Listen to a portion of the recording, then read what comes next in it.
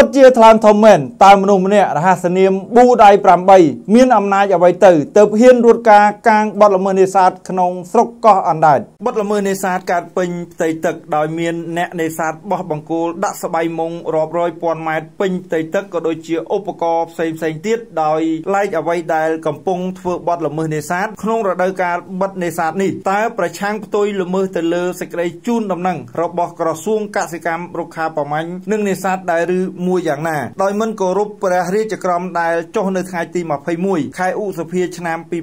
2016ដែលប្រកាសឲ្យប្រើច្បាប់ស្តីពីជលផលដោយចេញប្រកាសជូនដំណឹងនៅថ្ងៃទី27ខែកញ្ញាឆ្នាំ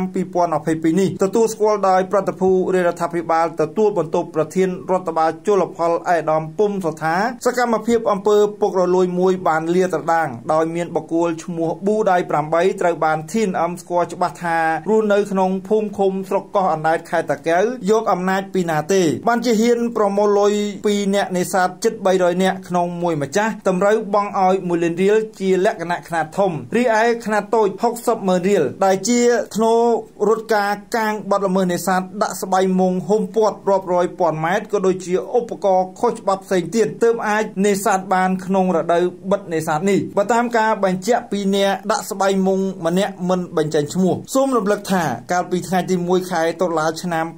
2022ដែលអង្គភាព TNM និងអ្នកសារព័ត៌មានដទៃទៀតបានចុះយកព័ត៌មានផ្តិតយករូបភាពសកម្មភាព និងធ្វើបទសម្ភាសជាក់ស្ដែងក្នុងផ្ទៃបឹងទាំងមូលដែលជាភូមិសាស្ត្រស្រុកកោះអណ្ដែតនៅខេត្តតាកែវរីឯអង្គភាពយើងបានសួរទៅលោកមេឃុំក៏ដូចជាលោកអភិបាលស្រុកដែរតែលោកថាមិនបានដឹងទេ ហើយតេតិនក្នុងករណីបទល្មើសនេសាទនេះក៏បានប្រជុំប្រកាសជូនដំណឹងអាជ្ញាធរឃុំការអប់រំឲ្យប្រជាពលរដ្ឋចូលរួមទប់ស្កាត់អភិរក្សថែរក្សាមច្ឆជាតិជីវៈចម្រុះរដូវកាលបិទនេសាទនេះរួចរាល់ដែរជុំវិញបទល្មើសនេសាទក្នុងស្រុកកោះអណ្ដែតខាងលើនេះមជ្ឈដ្ឋានខាងក្រៅបានដាក់ការសង្ស័យទៅលើអំពើពុករលួយនេះអាចជាប្រព័ន្ធដែរមិនអាចឈ្មោះប៊ូដៃ8ហ៊ានប្រព្រឹត្តដោយចិត្តឯងនោះទេតេតិនរឿងរ៉ាវនេះដែរអង្គភាពយើងខ្ញុំរងចាំមើលថាតើអាចមានចំណាត់ការនៃការបង្ក្រាបពីមន្ត្រីអាជ្ញាធរណាដែរបើប្រជានេសាទបានបងលុយ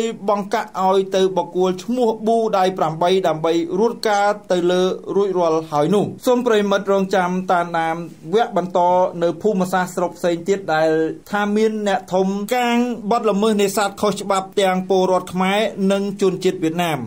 Ycam អ៊ីនធឺណិតជំរើសដ៏ពេញនិយមសម្រាប់គេហដ្ឋាននិងអាជីវកម្មគ្រប់ប្រភេទទំនាក់ទំនងតាមរយៈលេខទូរស័ព្ទ